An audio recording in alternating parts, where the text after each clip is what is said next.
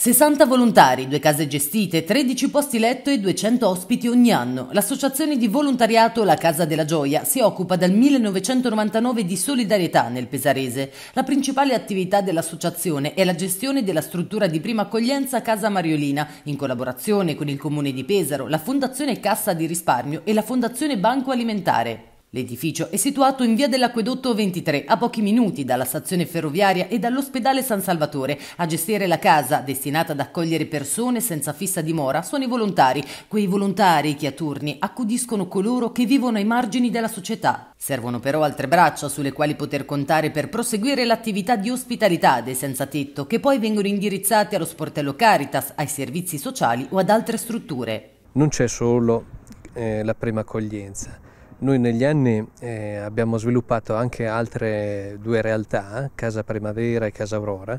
Come vedete qui nelle mie spalle l'abbiamo messa nel nostro stand. No? Casa Primavera e Casa Aurora sono eh, delle strutture d'accoglienza dove, dove, cerchiamo di fare un, la seconda accoglienza. Quindi eh, la seconda accoglienza eh, cerchiamo ecco, di reinserire le persone nella quotidianità.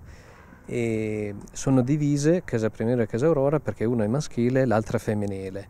Attualmente Casa Primavera è chiusa eh, per mancanza dell'alloggio, se no era un appartamento nel quartiere di Villa San Martino. Casa Aurora invece è tuttora operativa, ha sei posti disponibili e, e, si trova nel centro storico, quindi anche la logistica della posizione di Casa Aurora è proprio per combattere l'emarginazione. Trovandosi nel centro storico le persone ospitate sono subito reinserite nel flusso cittadino, nella vita quotidiana. Quindi effettivamente il cittadino come può aiutarvi?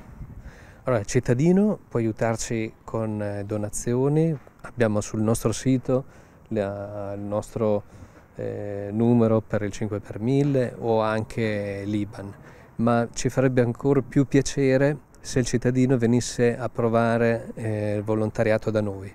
Eh, il volontariato da noi si basa su due turni, quello serale della cena e quello notturno. Quello serale eh, si basa dalle 18.45 alle 21.30, si svolge con tre persone di cui uno è il responsabile e si cena insieme agli ospiti, si dialoga con loro nella piena convivialità. La struttura ha sette posti, il clima è, più, è molto sereno. Abbiamo necessità di forze fresche e nuove idee, perché da cosa nasce cosa e più persone co collaborano nel, eh, in questa realtà e meglio, meglio si riesce eh, a concretizzare anche.